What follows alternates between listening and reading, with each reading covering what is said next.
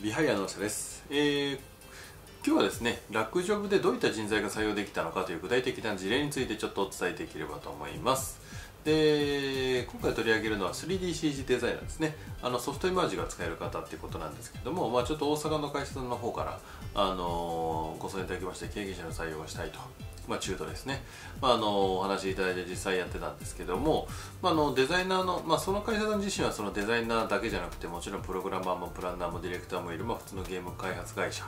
ですね。あの規模もそれなりに30人ぐらいの会社さんなんですけども、まあ、手掛けてるタイトル、まあ、これまであの受託してあの、まあ、実際公開、まあ、開発しましたよと公開できるタイトルが比較的やっぱ有名タイトルが多くてですねあの結構すんなり入って決まりましたので、まあ、我々もまあちょっと地方の、まあ、実績も増えてよかったなと思うんですけども、まあ、ラクジョブの方がですねそういったあのアニメゲーム漫画に特化した求人媒体としてずっと運営しておりますので、まあ、もしあのそういった採用関係興味あるの会社さんございましたしたら気軽にこちらの方までお問い合わせいただければと思いますのでよろしくお願いいたします。